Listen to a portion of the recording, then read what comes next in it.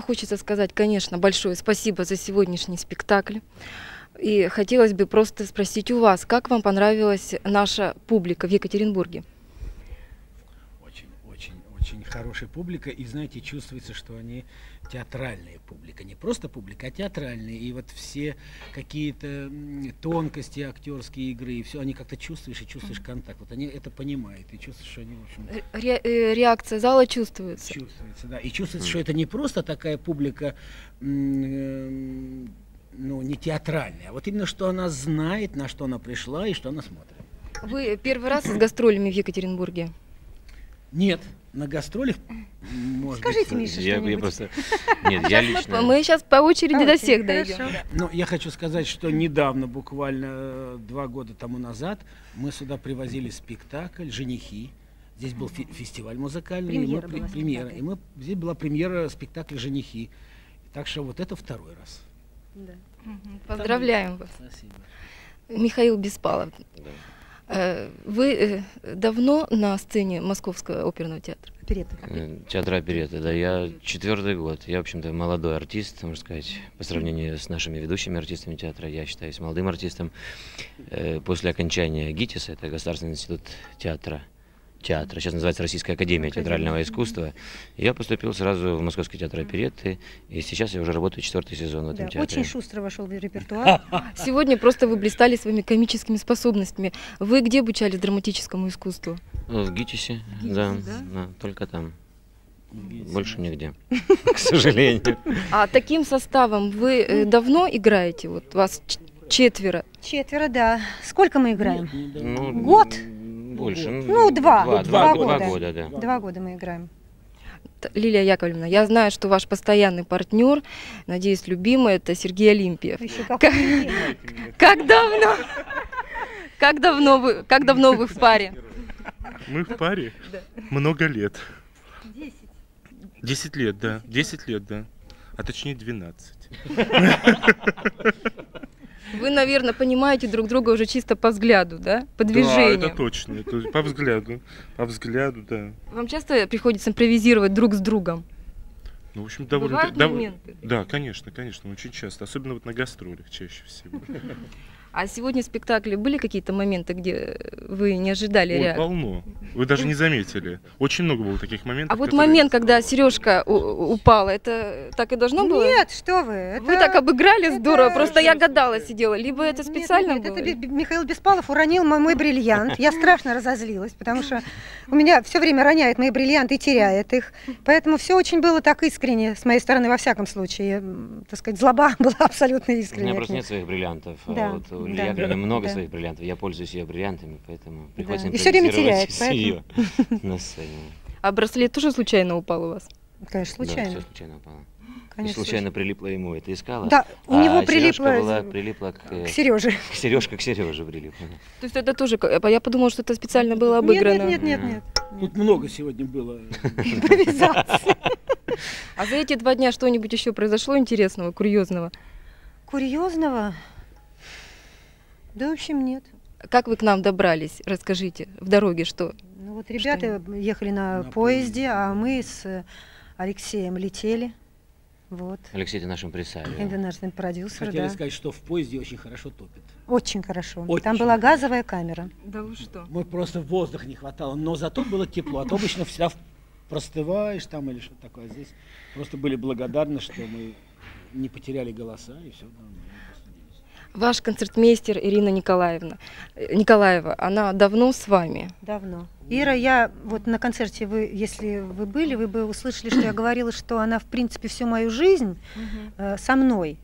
Вот. И- а, курьезные случаи, вот бывают так. Знаете, сегодня у Иры упали все ноты, когда она играла нам дуэт. Все ноты упали, понимаете? Вот вам курьезный случай. Вы как, на память сыграли мелодию? Но она как- Нет, как мне пришлось, чтобы не, в- так сказать, привлекать внимание слишком публики, вот, я постаралась левым локтем держать ноты, а правая вроде бы как бы свободная. Но дело в том, что инструмент, э, конечно, оставляет желать лучшего. Хотелось бы, чтобы был рояль, и он э, не имеет тех возможностей, которые бы имел бы нормальный, хороший инструмент. Можно было бы сыграть даже правой рукой. вот так сказать, как-то Вам пришлось звучно. также импровизировать, да? Да, вот, вот такой курьез сегодня был. Героические поступки. Ничего, это так естественно. Здесь пепитер маленький, а нот много, большой спектакль. Достаточно. Вот. То, что касается этого дела. Кто написал тексты для этого спектакля? Значит, это написал э, такой журналист, редактор на телевидении э, э, Андрей Меньшиков. Он был раньше, э, Володя, Он был в КВН. в КВН. Капитан КВН, вот оттуда КВН он был. пошел. Потом он был просто автором, писал сатирические там сценки, да, да, тексты, пьесы, и нам написал. рассказы, и написал. А сейчас он заведует детской программой на Шабловке, главный редактор. Текст достаточно современный. Да, абсолютно То есть вы современный. доставили очень много удовольствия и смеха. Ну, мы его немножко тоже усовременили. Мы его так текст, немножко да. добавляли. да. То есть наш текст на- уже спектакль, наверное, ему лет 12 спектаклю, 12. да. Да. А мы его, поэтому время уходит, поэтому Да, все время становится современным. Поэтому приходится делать спектакль уже самим более современным, то есть корректировать и редактировать ходу. Да, нынешний текст. Ну, Большое спасибо вам за интервью, за то, что вы к нам приехали, за то, что вы выступили у нас, доставили э, очень много положительных эмоций. И э, вообще за то, что ак- актер это профессия достаточно сложная, и я думаю, что чтобы у вас было как можно больше поклонников, поклонников вашего таланта. А Нам очень понравил- понравился Свердловск. Сегодня мы его разглядели, и нам очень-очень понравился зритель и сам город. А погода в Свердловске? Замечательно. Очень Настоящая, прекрасная. Потом, знаете, что у вас солью не, посып- не посыпают улицы. Машины не Это ж прекрасно, идешь настоящий снег, а у нас ведь грязь, это все на- Не надо надоело. говорить, Володя. У нас Не, тоже ну, неплохо. Ну, посыпают Ну, снег, много снег, соли. а у вас снег настоящий. У нас настоящая зима. Настоящая прекрасная зима, прекрасное яркое солнце. Все прекрасно. Большое спасибо. Спасибо вам.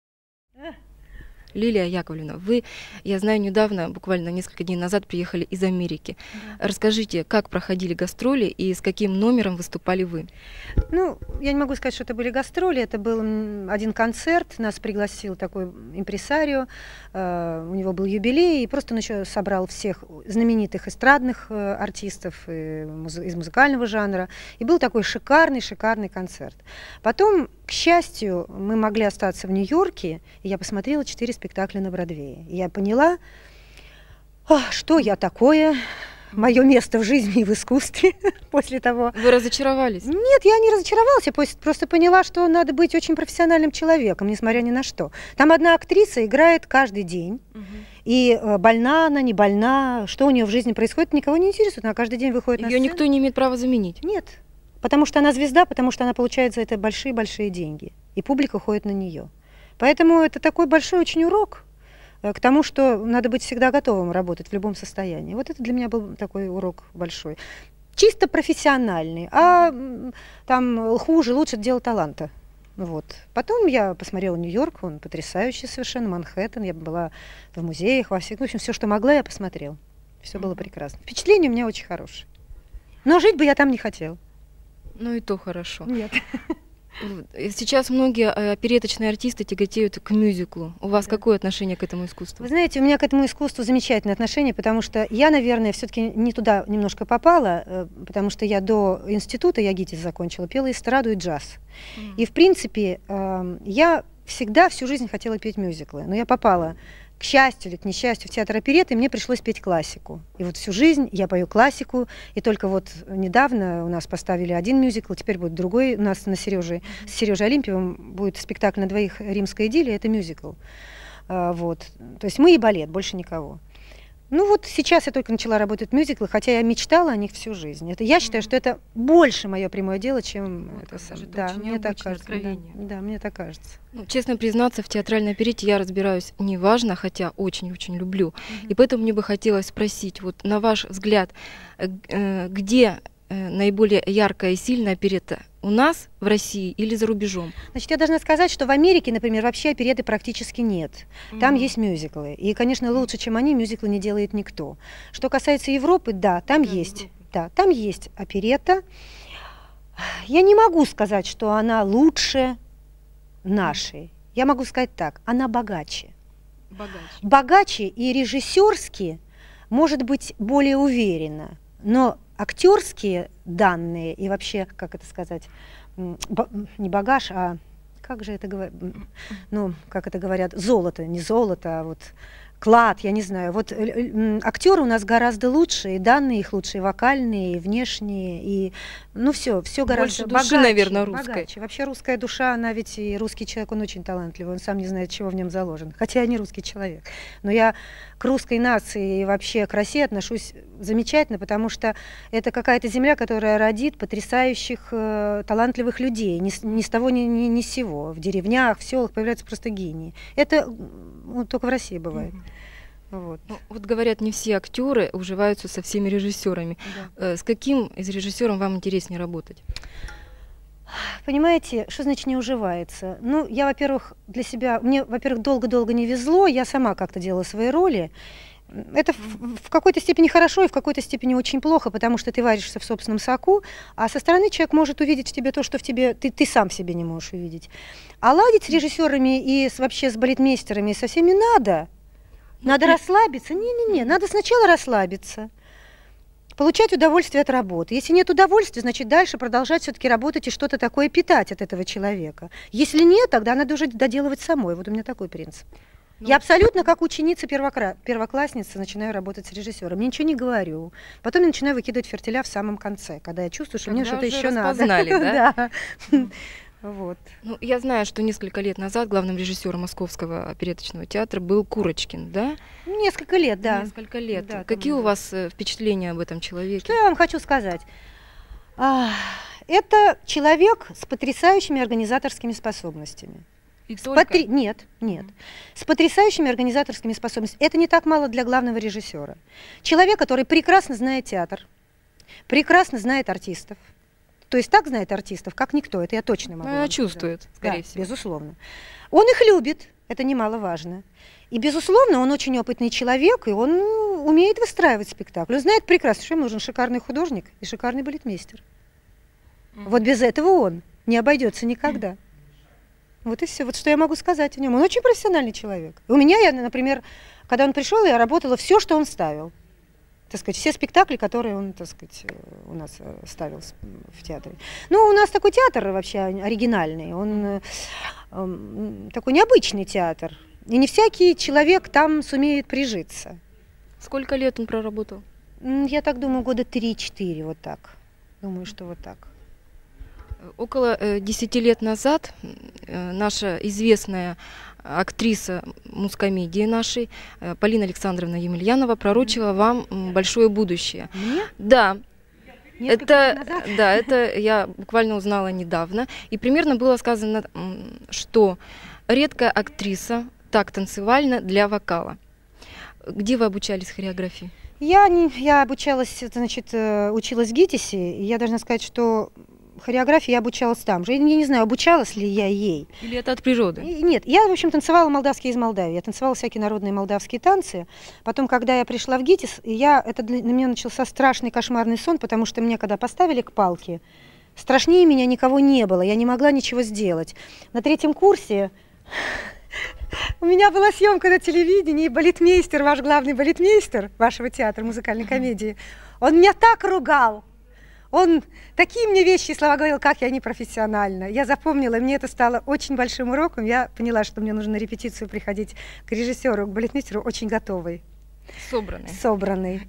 Вот. Но это был третий курс, поэтому потом я научилась, много мне, так сказать, жизнь меня и работа в театре научила очень многому. Она научила меня тому, что никогда никого не судить.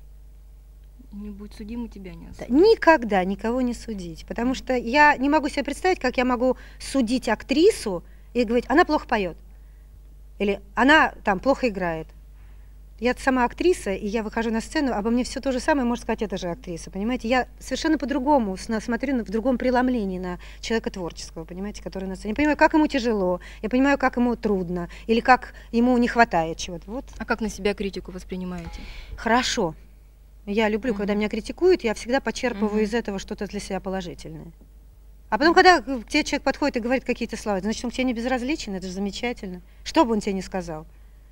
Или даже не подходит и говорит, вот, вот она плохо играет. Ну, прекрасно, значит, я должна знать, что я плохо играю. Мне очень интересно, как вам удается э, сохранять такую классическую форму сегодня? Ой, вы знаете, я вам так скажу. Ну, я э, внешнюю вы имеете в виду? Да, внешнюю. Я вегетарианка 6 лет. О, о, вот, вот э, к чему я хотела как раз подвести разговор. Да. И вот Я как была есть- уверена, что Да, у вас есть да. э, любимое блюдо Да, да. вегетарианское. Я вегетарианка 6 лет, и вот видите, вот эти понятия о том, что арти- певица должна обязательно съесть кусок мяса. Да, перед, э, Хочу мясо. Да, хочу мясо, да. Ну, это совсем сейчас ко мне не относится. Перед тем, как выйти на вокальный спектакль, надо съесть кусок мяса, то я вот уже 6 лет не ем кусок мяса и прекрасно себя чувствую.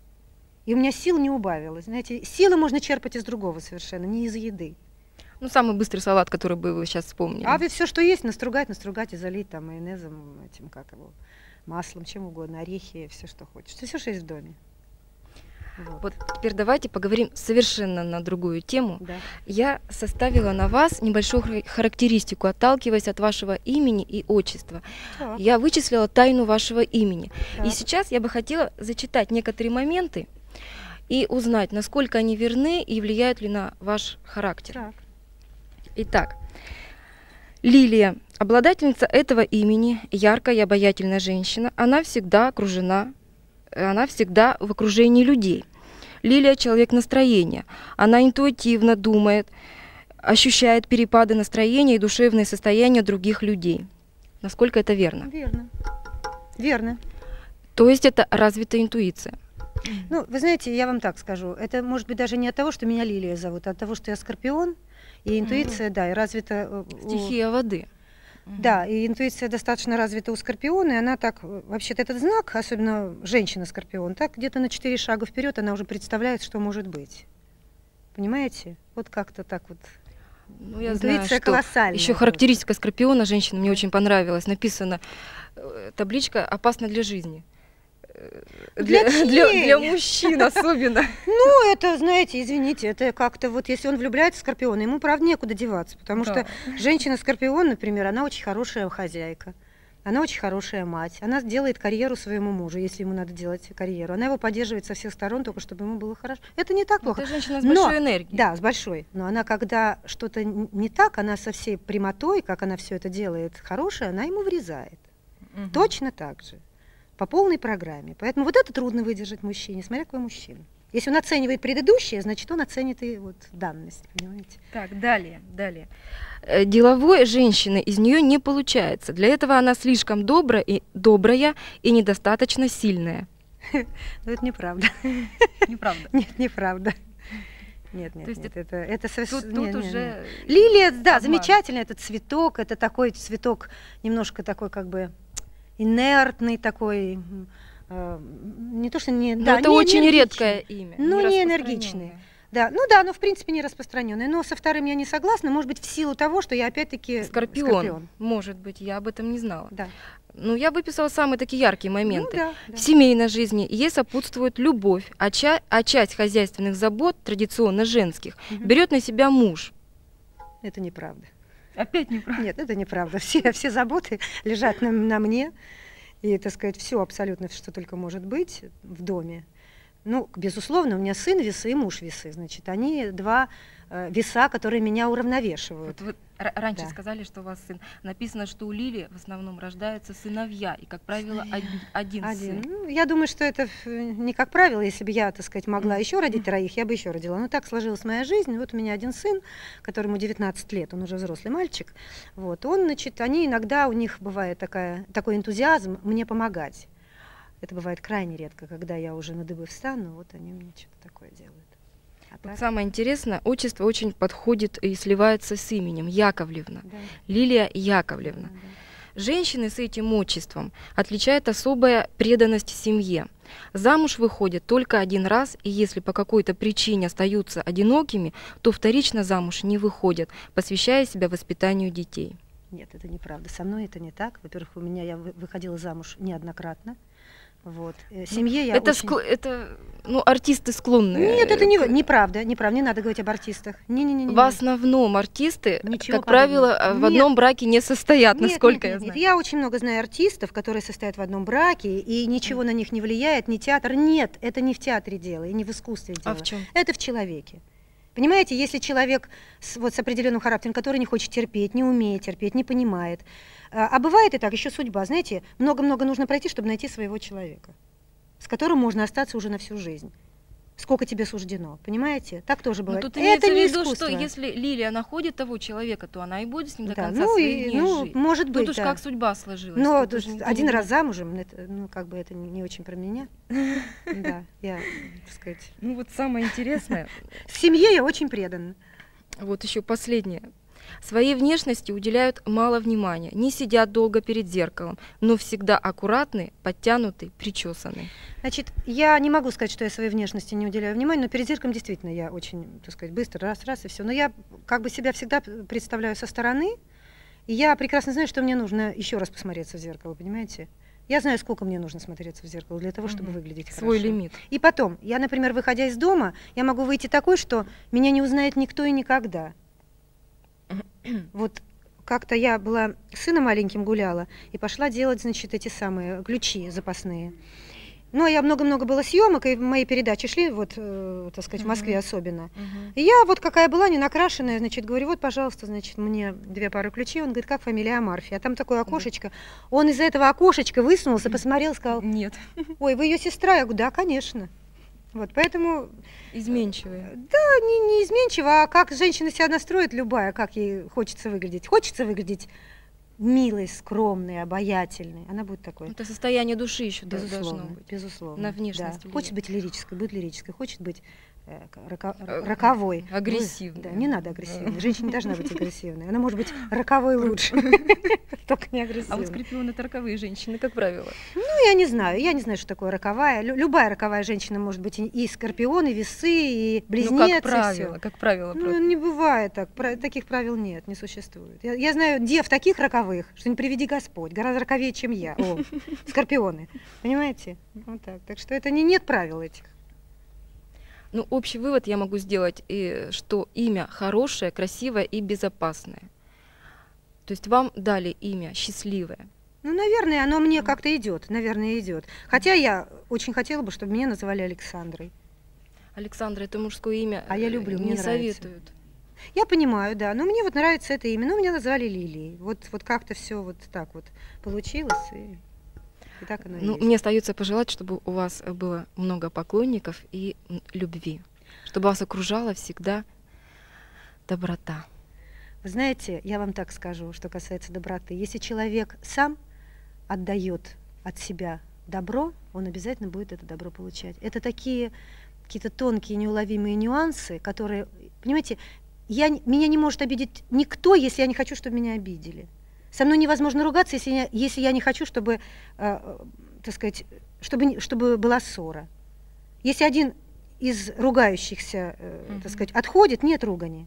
А если ссорится, значит, оба неправы. Поэтому, если ты отдаешь добро, значит, и тебе оно возвращается. Очень все Но просто. не все понимают это, к сожалению. Ну, это у каждого как бы своя судьба. Тут уж ничего не поделаешь. Палочек, э, какое у вас впечатление о сегодняшнем спектакле? Мне спектакль очень понравился. Я с радостью шел на этот вечер, потому что здесь э, круг моих друзей. Э, Прежде всего, Ирина э, Николаева, аккомпаниатор, с которой я учился в ГИТИСе. Она была нашим аккомпаниатором. Это была для меня радостная встреча. А ее муж, заслуженный артист России Николаев Володя, он играл Пигмалиона. Значит, мы также с ним очень давно знакомы. Великолепный Олимпиев. э, Мы сидели сейчас с Басаргиной Надеждой. Она восхищалась его диапазоном. Э, Вообще потрясающий актер. Ну и, наконец, конечно, Лилия Амарфи. С Лилией я знаком давно. э, С третьего курса, когда мы делали большую передачу. Были звезды Москвы. Примерно сколько лет назад? Ровно 25 лет назад. Ровно? И 25 лет я не видел Лили. И пришел в гримуборную сегодня, смотрю на нее, она меня узнала. Изменилась? Э, Нет, нет. Э, В Лиле все, весь тот потенциал, все, что было в ней. Э, Я, конечно, восхищен тем, как Лиля растет, как она прошла вот ну, путь все же 25 лет э, в искусстве. Она великолепна. Она выросла в настоящую опереточную диву, э, в прекрасную актрису. Это, знаете, нельзя говорить, что вторая Шмыга. Она Лилия Амарфи. Она левая, тоже звезда. Она, она пластична, драматическая актриса. Да. Причем еще сегодня, сегодня я увидела, что она и комедийная хорошая актриса. Вы знаете, вы- ну, это какая была вообще студентка великолепная, как удобно было с ней работать. Ну, я восхищен Лилией ее вообще всем творческим путем. Так, и я рад, что я сегодня вот Что был. сегодня они нас порадовали. Да. Спасибо большое. Алексей Иванович, как давно вы являетесь продюсером этого коллектива? Ну, между прочим, уже давно. Это, пожалуй, первый коллектив, с которым я начал профессионально работать. И это было, наверное, уже 5, а может быть и 6 лет назад. Первая наша поездка, это я очень хорошо помню, м, в Эстонию была как раз. В, э, Эстонию, Таллин, Нарва, м, Кохтла-Ярве. Это была незабываемая поездка, и я напрочь, если можно так сказать, влюбился в эту актрису, в ее замечательный коллектив. И, в принципе, он вот за эти шесть лет почти не претерпел никаких изменений в качестве состава. Вот. Ну, пожалуй, может быть, Сколько, один человек. сколько гастролей у вас проходит примерно за год? За год много гастролей. Это, ну, можно сказать, насколько получается выдернуть их из репертуара театра. А как организаторы находят вас с вами, встречаются и договариваются о концертах? Ну, как? Как? В принципе, это э, э, поступают предложения из разных мест. Мы с То есть вы удовольствием. их обсуждаете и Да, уже да. по И времени если мы решаете? находим, и если мы находим общие точки соприкосновения, то мы с удовольствием выполняем эти заказы. Вот. Или же, или же непосредственно, когда у нас есть э, свободные дни, там или отпуск, или какие-то выходные, то специально приходится заниматься этим гастролем. Бывают ли у вас во время гастроли какие-либо конфликты между друг с другом в коллективе? Ой, тьфу-тьфу-тьфу, до сих пор не было. Не было никак, никаких конфликтов. Ну, я думаю, с этими ребятами трудно конфликтовать в чем-либо. Мы как-то чувствуем, за эти шесть лет мы притерлись очень хорошо.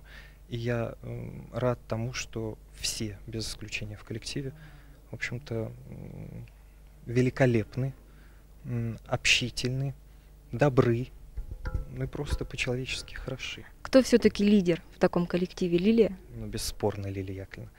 Лилия Яковлевна великая женщина, прекрасная актриса, и я могу, не скрывая, наверное, или сказать, что это лучшая актриса оперетты сейчас вообще у нас в стране.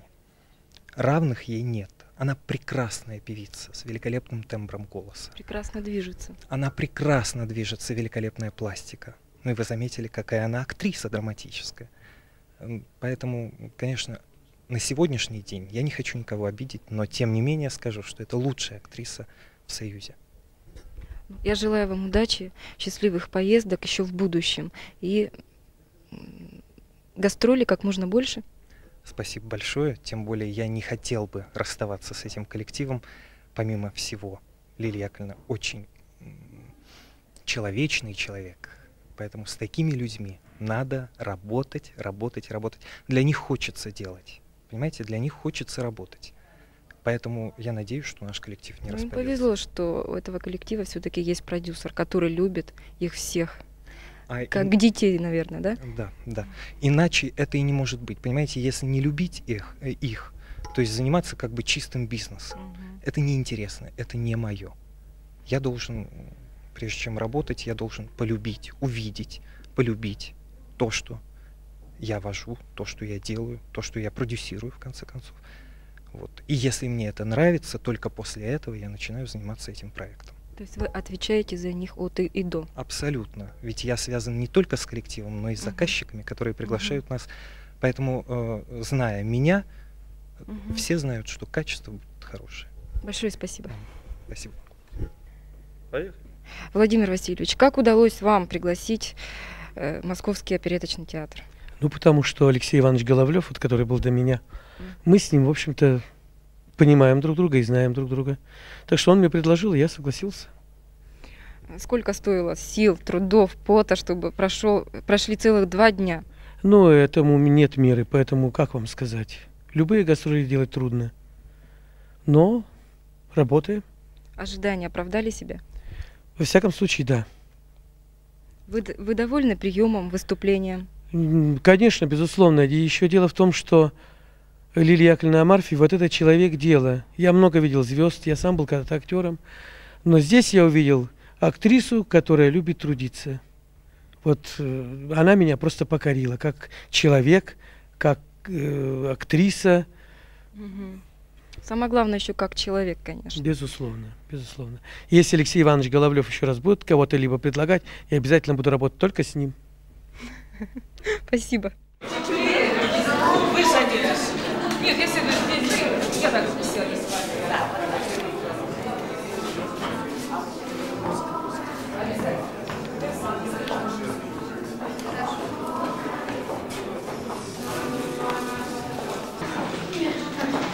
Вы так скромно, а я выпью.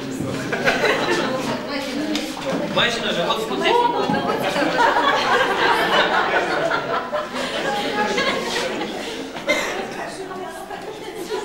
Так, добрый вечер, дорогие друзья.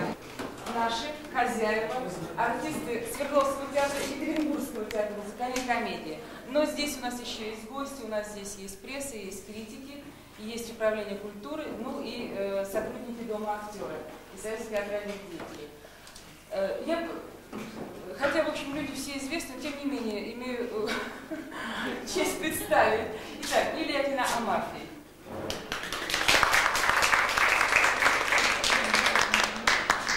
Яковлевна Николаева, концертмейстер. Мужчин можно назову без отчества? Владимир Николаев, заслуженный артист.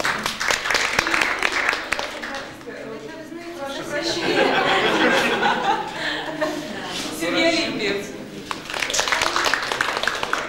И э, Михаил Беспалов. Э, Из э, Екатеринбурга, из Екатеринбурга вам представляется? Конечно. Конечно. Всех, всех не смогу, всех, кого-то сама не знаю, но вот так, выборочно, просто э, так по кругу. Э, Главный балетмейстер театра музыкальной комедии Владислав Разновятов. Э, Главный хормейстер театра музыкальной комедии Анна Емельянова. Литературная честь в полном составе Наталья Щербакова и Елена Буденного. Завлит театра оперы и балета Лариса Барыкина. Главный режиссер, художественный руководитель театра музыкальной комедии города Екатеринбурга. Заслуженная артистка э, Рима... Так, э, из... э, Они знают, как маму жалко. Директор Дома актера Владимир Васильевич Мишарин. И там где-то где сзади э, Белов и Дралов. Белов режиссер театра и Павел Дра- Дралов ведущий артист театра музыкальной комедии. А с остальными по ходу уже э, познакомимся. Я хочу сделать э, небольшую преамбулу нашего разговора.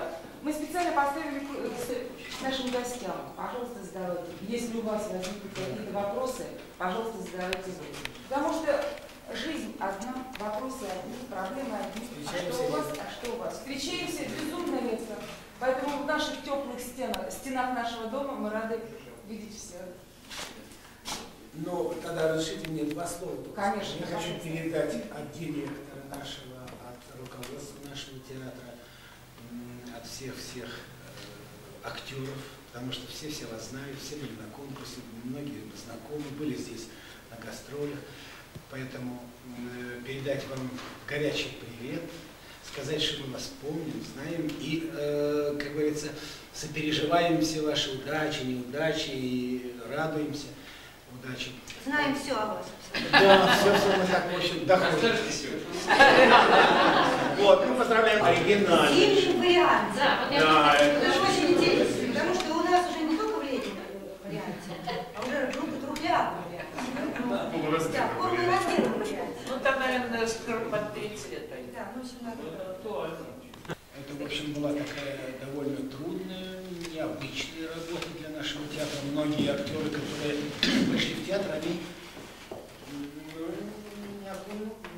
не, пробовали этого жанра. Например, когда вы приезжали на конкурс, то вы привезли очень много отрывков мюзикла. Это было для наших актеров, конечно. Еще на тот старый конкурс. На тот старый. Плохой драматургией, я честно скажу, э, с средней музыкой, э, э, красновские декорации. Достаточно были интересные на макете, в исполнении оказались, ну как вам сказать? Хороший. Нет, ну, Леша, вы понимаете, каждая лестница должна играть. Получается какое такое концертное исполнение. Вот. Конечно, вы, когда привезли ваших ребят сюда, это же на ушах, и все поет, это классно. Это про что вы говорите? Это про конкурс. А, про конкурс. Василий Васильевич, так сказать, очень много мюзиклов. Ну, у нас как-то такое... Работа очень высокая у нас. Да, ну, вот, и а заразили. пришлось, да, ну, было свои данные ограничены какие-то, но все равно можно увеличить. А что касается пластики, то тут вообще безгранично, по-моему. Можно из толстой стать худой, подвижной, все что угодно. Поэтому, э, да, проблемы были, безусловно, у нас э, в этом спектакле, но самое страшное проблема – микрофон, который выключается на нуле. Это когда ты играешь, если звезда, или даже не звезда, а там держатся все за место, так сказать, мюзикле известном. Они днем работают. Вот э, там идет сейчас такой мюзикл Виктор Виктория, первый сезон, на Джулию Эндрюс, который фильм, вот вы видели, да? Очень известный фильм. Вот сейчас они сделали. Не работает, нет, она работает. И, наверное, она больна, но я не видела, что она больна. Я не увидела, что что-то у нее такое есть, что, что ей мешало. Вот это высочайший профессионализм. Потом она начнет разваливаться по частям. Потом она вдруг сказала голосом. А, ну, совершенно прокуренный все. Эта актриса очень известная. В Америке она, к сожалению, нигде не снималась, поэтому мы ее не знаем. Этот спектакль на нее поставлен, поставлен был в 1964 году в Колумбии. Она сыграла, в принципе, 4500 раз. И 28 числа у меня был последний спектакль Колумбии. Не представляете, что там вообще творилось? Спектакль – это «Сансет Бульвар», это по фильму «Бульвар заходящего солнца». Ну, видите, кто не знает, замечательный старый шикарный фильм, в котором Глория Свенсон сыграла после немого кино лучшую свою роль. И э, ну, я совершенно была убита и потрясена, потому что я не слышала, когда вот эти декорации на электронике вот так вот закрываются, открываются. Бассейн. А? Бассейн. А знаете, как пришел был бассейн? Этот парень, значит, открывается занавес, он к- лежит, вот какая-то такие разводы, а он висит, как бы лежит ли- лицом вниз, и мы его видим. И он как бы вот висит.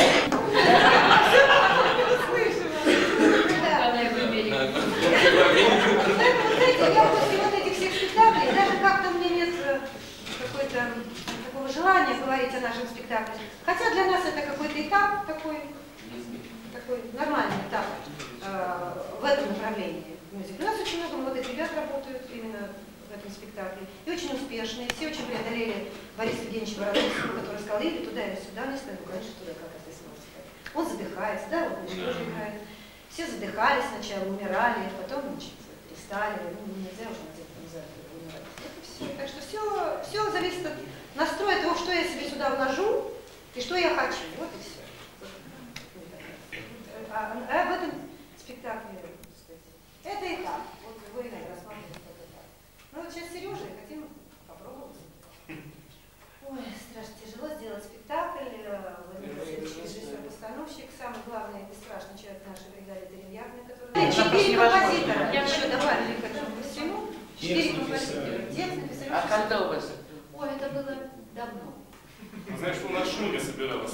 Да, да, у нас начинали на Больше. Да, но в музыке мало. Это и у вас играл. Играл, э, не справились актеры. Я думаю, что не поэтому. Тогда было то время, когда это играть было нельзя. Так то же самое и в Москве запретили. Тогда, кстати, Да. ее же привезли после вас, Да.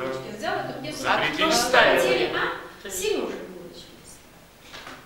А, Э, Как много Ну, было. да, ну вы знаете что, я тоже скажу там два слова, поскольку у нас такой обмен идет. Вот продолжим этот спектакль. Значит, у нас возникла в театре такая вещь, наверное, у вас тоже я слышала, что что-то подобное там есть. Это может быть и правильная вещь. В последнее время у нас стали ставиться такие бенефисы, или спектакли-бенефисы, или концерты, или шоу, или как хотите для, в общем, и спектакли тоже. Известных Для, артистов. да, на наших, ну, звезд, на наших ведущих актеров. Началось это не так давно тоже. Вот как Нет, это года, началось два- давно. Давно. А, Это да, да, началось с да. Татьяны Ивановны Вот. Шмыги. Ну, как-то вот я упустила этот момент, что это с Татьяной Ивановной, значит, Шмыги. А, Да, много лет тому назад, достаточно много, был поставлен спектакль «Катрина», это так все знают, именно э, для Татьяны Ивановны. Значит, и сейчас Татьяна Ивановна готовит третий спектакль, он принят в постановке в нашем театре. Называется он «Джейн», такое название. Вот, э, так я понимаю, что по произведению Моэма тоже. По произведениям, значит, там такой по мотивам, да. Ну, тот же драма, драматург, тот же автор, э, Селиковский, который Теперь, да, будет режиссер. Да. Муж он дирижер. А муж, значит, Шмыги, вот дирижер, э, и дирижеры и композитор Анатолий Кремер. Два спектакля уже его есть, идут в театре. Катрин и Джулия, и он будет осуществлять как бы вот третий тоже курс. Потом у нас, значит, э, вы, наверное, знаете, что Светлана Павловна Варкузова наша сделала тоже спектакль, театр сделал спектакль такой для нее Примадонна. Вот, по произведениям Офенбаха, чтобы дать возможность актрисе, так сказать, очень самовыразиться и много попеть на классике как бы. Вот этот спектакль. Потом сделали еще один спектакль на Шмыгу, фу, на Варгузову, э, спектакль концерт концерт. такой, да, женщины и мужчины, где она играет одна с десятью мужчинами, как бы так. И вот, значит, э, и даже у нас сейчас, сейчас, прямо сейчас ставится спектакль такой же концерт на Ведении. Чего дальше? Да, что значит, вот спектакль оказался и на Лилии Яковлевна. А он оказался не на Лилии Яковлевне, он оказался и на Олимпиева тоже. Да, но э, художественный совет, так сказать, вынес свое такое предложение, что Марфе тоже Как пора, пора, как бы пора. Но тут Амарфи вот пошла по такому пути. Да, никто выбрала ей- пьесу. Да, Хорошо. никто ей пьесу Да. специально не писал. Да. Она просто решила, что не нужны концерты, а вот нужна пьеса такая. Ну, вот, которая в эти вошла. Но здесь другой поэт и совсем другая музыка. А Пьеса-то, конечно, осталась. А что у вас происходит? Расскажите. Мы не знаем. Мы притворились, мы Мы притворились. пошутили. Я знаю только о девичьем гриболухе. Вот как-то нашумело, что он у вас какой-то... Поэтому конец света и женщина в подарок, и супружеская идиллия, которая шла по Сейчас вот мы неделю назад новый мюзикл я тоже. Ну, не новый, Слушай, читали, да? читали, да. Вот. А пока до весны, до весны мы сейчас будем делать э, э, ну, такой, ну, водевиль будем такой, э, Медведь, э, Глеба Сидельникова. Композитор Глеб, это московский магазин, куда шли фото. Не, не, не Николаевский, Лепс,